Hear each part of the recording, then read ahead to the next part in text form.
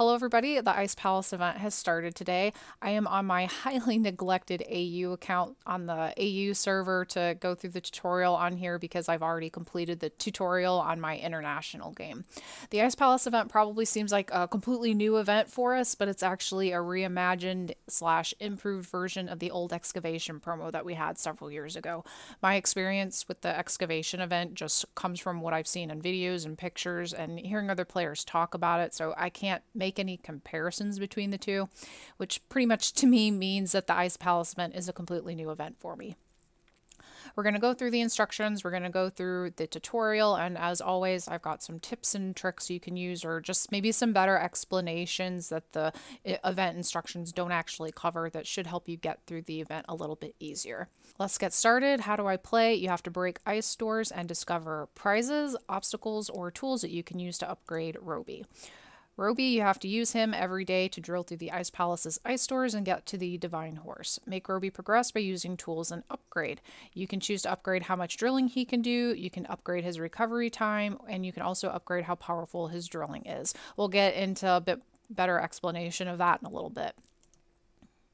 The Jackpot Divine is the new Nordic Divine horse Ran. You have to reach the last room of the ice palace to free her and that's how you win her. Let's take a look at her real quick. This isn't really a divine that i want uh, i have wanted a divine that with this particular perk for a while but it's not really something i want to spend loads of passes on. Her perk is that you have to lift the veil that has descended on the nordic worlds by winning points with the different rides. I showed that in a tesser video with thor i think it was if you want to have a look at that even though i didn't realize at the time that i did one of the incorrect rides with him you have to get 420 points, the veil will be raised, and she gives you a prize, which is a full of a breed with the coat you don't yet have. This will just be a rolling gain foundation full. It's not going to be a skiller with loads of skills and high GP or anything. It actually, it's basically the same perk as one of the, the prehistoric divine source we have. I can't remember which one that is. We have too many for me to keep track of all their perks. That's the new Nordic Divine, and of course we have golden horseshoes. You have to collect at least two golden horseshoes to take part in the prize draw at the end of the event. These are the thresholds you have to reach. The first golden horseshoe is gained after you get through five rooms, and the second golden horseshoe is gained after you get through 20 rooms, and then you can get the other two horseshoes once you've reached 65 rooms, and then the fourth one when you've gone through 120 rooms, which I'm probably not going to do that.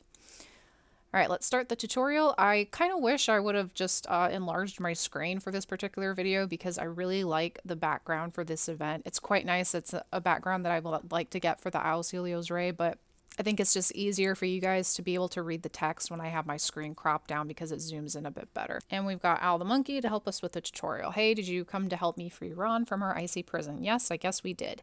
You must pass from room to room to get to her. And if you're wondering how many rooms it's going to take to get to Ran, it says right over here, you have to get through 120 rooms. This here is a room. If you notice there are four different doors right here, you'll see these four doors throughout all the rest of the rooms. You can't always break down all the doors sometimes it's just one. Doesn't matter how many doors you break, it's just how many rooms you get through. And this here tells you how many rooms you've actually gotten to, this top number right here. So you must pass from room to room to get to her. Let's continue. You have to break the ice to release the door and go through. We have to free Roby first. Robbie? Roby? I'm going to call it Roby. you can't drill anymore. You have to use a stick of dynamite to inflict five blows on this door. I've noticed a couple players that said that this charged them a pass during the tutorial. The tutorial should not charge you a pass to get through it. If it charges you a pass and you've checked your pass history to be sure it did actually take a pass, take a screenshot of that and fill out a ticket to contact us because the tutorial should not be charging you a pass. This will charge you a pass obviously if you use it throughout the rest of the event, but for right now this should be completely free to use. All right, we're going to use this. We're going to get through you freed Roby, he'll help you explore these ruins. And once you leave a room, you won't be able to go back that way again. Let's go to the next room. There is a warg behind this door. You woke up the warg. You either have to wait the time stated or you can complete the objective. Alright, time's up, and we're going to go through to the next room. Okay, a tool is trapped in this door. If you can get your hands on it, it'll help you upgrade Roby as you progress. These are the tools that you have to use to upgrade Roby. You have to keep clicking. Lots of clicking here. And another click. Yay! Awesome. Only four tools left and you can upgrade Roby. You have to fill this gauge up all the way which means you have to collect five tools. Once you've collected five tools, you'll get a pop-up and it will let you choose one of the three options to upgrade Roby. Again, we're going to talk about the upgrade options in a little bit. All right, let's keep going. Roby looks tired and he can't do much more drilling. You can reload half of his batteries instantaneously by using this feature. So it only goes up halfway. That will cost you a pass later on when you get started in the event. Again, this is the tutorial. It should not charge you a pass. Great, you've got all you need to start off well. Good luck. I've got a few. Let's go ahead and beat this down so we can get a golden horseshoe. One more click. Yay. Okay, you've released something from the ice. We get a golden horseshoe. Yes, I know. We won't be able to turn around. Okay, here we have four different doors to choose from.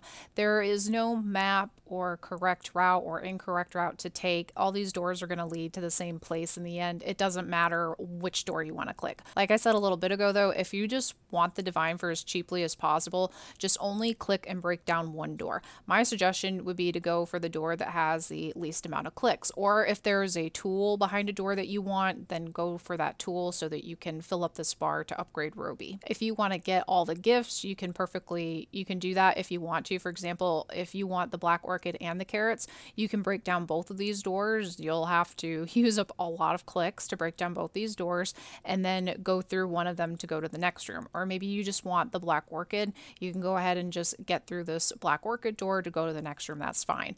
What I want to do, I want to get through some of the better prizes. And if we look at the prizes page, we can see the first prizes. These should go in order, by the way, in which you see them on the prize page, which means in the next room we should be able to see a classical saddle. And when I say next room, though, I don't literally mean like the very next room. It could be a couple rooms farther on that we'll see the classical saddle, but the next room we see a prize, it should contain a classical saddle. I'm just going to go through the doors with the least amount of clicks for now until I get to some of the better prizes because I'm not really interested in most of this stuff. Though it looks like it is possible to win dynamite sticks from the event, which are like free clicks basically. All right, let's go back. I'm just going to go through the doors with the least amount of clicks for now, which for this one will be a warg. Okay, you woke up this warg. You can either wait four minutes and now 55 seconds. You can complete the objective, which is stroke five horses, or you can skip the objective by donating an item to OW. Or, like I said, you can just wait. My suggestion is that since I'm in no danger of maxing out my bar and losing out on any clicks, I'm just going to wait. There's really no hurry for me to rush through this. If you want to go ahead and do the objective or skip it to get through to the next room, you can do that. I'm just going to wait because there's really no point in me rushing through. Okay, now let's talk about a few tips and tricks that the event doesn't really touch on. First, though, if you are on the mobile version and did not get the tutorial, how you start that is that uh, this is what happens when you click on the event banner. You'll be taken to this page. You hit play now you will hit this big image of Roby and your page will look a little bit different than this because I've already completed the tutorial, but you'll see Roby in this top right door right here. You have to click on that and then it will take you through it. That's all you have to do. It's not really a tutorial like on the classical version, but that's how you get through it. I'd probably recommend if you're a little bit lost, switch to the classical version on your mobile device. It's just a little bit easier. Now, something that the event instructions here did not say is how long it actually takes to get a charge this countdown timer right here where it says full battery in one day and 19 hours and 56 minutes that's how long it takes to fully recharge this whole bar. That doesn't mean that's how long it will take until you gain one more move. Let's say i'm out of move moves right now. That doesn't mean that oh crap i'm stuck here for another day. Um, it actually just takes four hours to gain a charge if you have not upgraded Roby at all. And you can see the information on that by going to Community Events Forum and we're going to go to the Ready to Explore the Ice Palace topic in your server's events form. There are a little bit more detailed instructions in the events form. I'm not sure why these aren't on the event on the actual event page. They should be, but they're not. So check your server's events form for the Ice Palace topic. Now we want, is it this one? We want this one. No, we want this one in particular because it gives more information about Roby and his upgrades. Roby digs and forages on the ice doors to break them. Roby uses energy when digging through the doors. Once the energy gauge is empty, you must either wait for it to refill, pay for a refill for one pass, or use a dynamite, which counts as five clicks. The battery refills point by point, starting with one every four hours and can be upgraded to reach one every 30 minutes. So, this right here, if you're wondering how long it takes to recharge Roby, it's one point, which is, I have to go back. Oops. which is this here. This is like one point. I'm just going to call it like one bar, one section. This takes four hours to regenerate that. Let's talk about the upgrades because to me, this is the trickiest aspect of the event. Roby can be upgraded three times maximum. Each time you upgrade him, you can choose among the three possible upgrade choices as seen here. You have Upgrade A, which increases the battery's capacity. That's convenient if you log in less often. Upgrade B, that accelerates the battery regeneration. And for C, that increases the power of each drill or clicks. You can mix and match these options if you want to. That means that if you wanted to choose A for all three upgrades, you can do that. Or you could choose B for your first upgrade, A for your second, C for your third, maybe B for your first two upgrades, and then A for your third. However, you want to do that, that's fine. And then the thresholds for each of these upgrades are as follows. For A, to increase the battery capacity, your capacity is this bar right here. You start off with this bar only being able to hold 12 clicks maximum. If you were to choose upgrade A the first time, you will go from your bar holding 12 clicks to holding 18 clicks maximum. The second time you choose A, you'll be able to hold 24 clicks maximum. And the third and final time you choose A, your battery capacity will be at 30 maximum clicks clicks. This option for me isn't very useful. I log in often enough that I don't have to worry about my bar maxing out and not being able to gain any clicks until I use some. I'm not going to use option A at all, but it might be useful for you if you're somebody who maybe you can't log in for two days and you don't want to have to worry about your battery capacity maxing out for a while.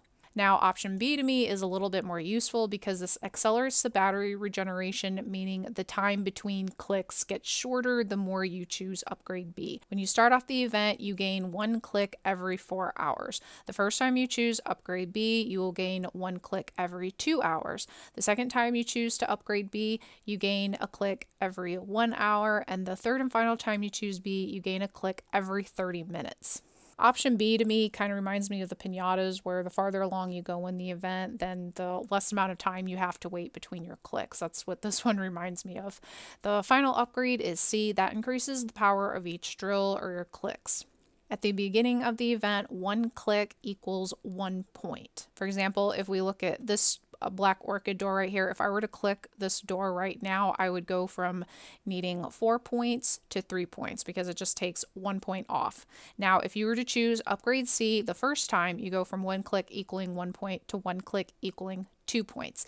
The second time you choose C, one click will equal three points. And the third time you choose C, one click will equal four points. Strategy wise, I'm not sure how you should mix and match these upgrade options. Perhaps there's like a mathematical way that you can figure this out. Something to keep in mind though is that the farther along you go in the event, the more clicks each door will require. Like right now, your doors are only requiring four clicks, two clicks to open them. When you get further along in the event, they're going to start requiring 10 clicks, probably 20 clicks, and I have no idea how many clicks the divine will actually take itself because there was some outrageous number of clicks required on the Divine on the test server, and it turns out they were still working on trying to balance it, so hopefully it won't be so click heavy in the long run. I'm not quite sure those are all the tips I have for you guys. This event is a bit more tricky, I think, to grasp. It's not one that I don't think I'm going to go for the divine on this one. I'm just going to go through, get as many cheap free gifts as I can, and hopefully I'll get some good gifts out of this. Let me know which route you're going to take, if you're going to just get the free gifts or if you're going to try for the divine. Uh, thank you guys for joining me today, and I will talk to you soon. Bye.